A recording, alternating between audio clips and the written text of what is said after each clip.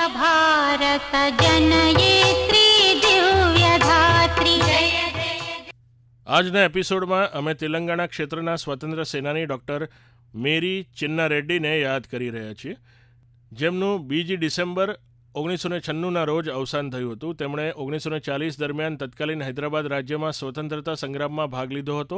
તેઓ ઓગણીસો ને સાહીઠના દાયકામાં અંતમાં તેલંગાણા ચળવળનું નેતૃત્વ કરનાર દિગ્ગજ નેતાઓમાંના એક હતા.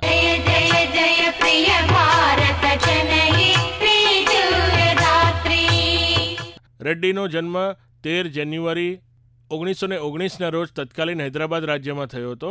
ઓસ્માનિયા મેડિકલ કોલેજમાં સ્નાતક થયા પછી તેઓ તબીબી સેવામાં વ્યસ્ત બન્યા, પરંતુ સ્વાતંત્ર્ય સંગ્રામમાં જોડાવાની મહત્વાકાંક્ષાથી તેમણે એક સફળ ડૉક્ટરનો વ્યવસાય છોડી દીધો અને પોતાની જાતને જાહેર સેવામાં સમર્પિત કરી દીધા.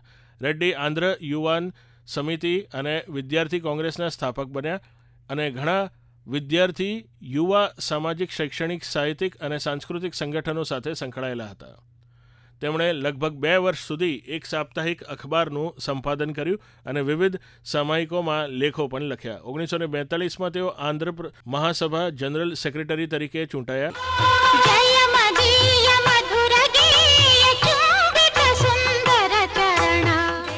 રેડ્ડી મહાત્મા ગાંધીની અહિંસક પ્રતિકારની પદ્ધતિઓમાં દ્રઢ વિશ્વાસ ધરાવતા હતા. આઝાદી બાદ રેડ્ડી આંધ્રપ્રદેશના બે વખત મુખ્યમંત્રી રહ્યા. તેમણે ઉત્તરપ્રદેશ પંજાબ રાજસ્થાન અને તમિલનાડુના રાજ્યપાલ તરીકે પણ સેવા આપી હતી. તેમણે અલગ અલગ તેલંગાણા રાજ્ય માટેની ચળવળમાં પણ સક્રિય ભૂમિકા ભજવી હતી અને તે સમયની લોકપ્રિય તેલંગાણા ચળવળમાં તેલંગાણા પ્રજા સમિતિના પ્રમુખ પણ હતા.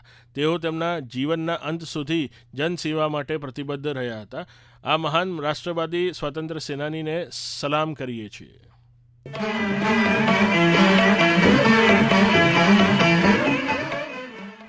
અમે મુંગુવરિયા અને તેમના સાથીઓને પણ યાદ કરીએ છીએ. જેઓ હૈદરાબાદના નિઝામની સેના સામે લડતા બે ડિસેમ્બર ઓગણીસો ને છેતાલીસના રોજ શહીદ થયા હતા. નિઝામના સૈનિકોએ ખેડૂત બળવાખોરોની શોધમાં તેલંગાણાના નાલગોંડામાં મેલ્લરગેડિયમ ગામમાં દરોડો પાડ્યો. મુંગી વરિયાએ છસોથી વધુ ગ્રામજનો સાથે શાંતિપૂર્ણ રીતે તેમનો પ્રતિકાર કરી રહ્યા હતા, પરંતુ સૈનિકોએ તેમના પર ગોળીબાર કર્યો, જેમાં વીરૈયા અને અન્ય ઘણા ખેડૂતો પણ મૃત્યુ પામ્યા. અમે આ તમામ શહીદોને સલામ કરીએ છીએ.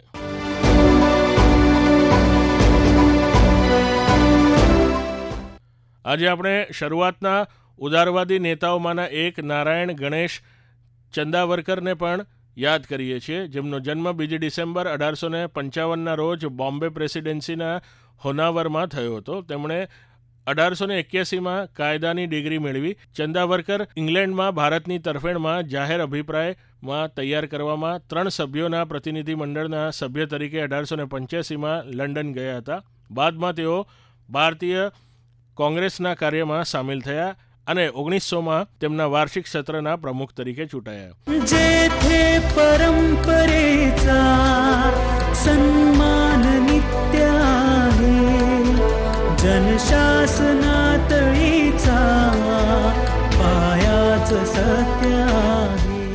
આ પછી તેમણે સક્રિય રાજકારણમાંથી બ્રેક લીધો અને ઓગણીસો એકમાં મહાદેવ ગોવિંદ રાનાડેના મૃત્યુ પછી તેમણે પ્રાર્થના સમાજનું નેતૃત્વ સંભાળ્યું અને સામાજિક કાર્યમાં જોડાઈ ગયા.